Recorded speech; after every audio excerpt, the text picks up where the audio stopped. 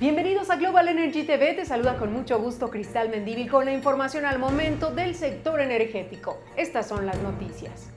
A pesar de la crisis económica por la pandemia del COVID-19, las empresas privadas mantienen su meta de producción petrolera para este año. La Asociación Mexicana de Empresas de Hidrocarburos estima que producirán 75 mil barriles diarios de crudo al cierre de 2020, un incremento de 50% comparado con el cierre del año pasado.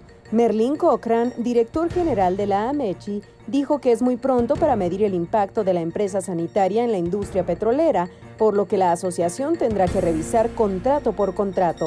Pese a la incertidumbre, comentó que algunos contratos como el de Eni, Hoxie y Feelgood con Petroval tienen el potencial para conseguir las metas de producción previstas.